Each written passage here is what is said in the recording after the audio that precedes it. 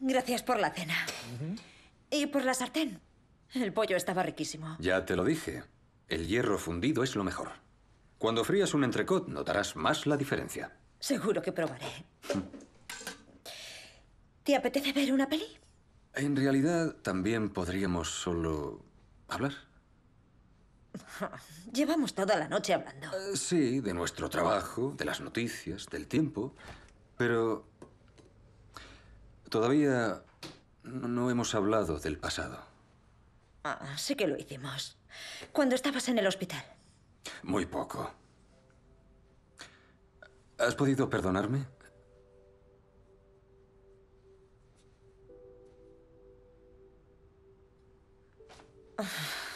No lo sé.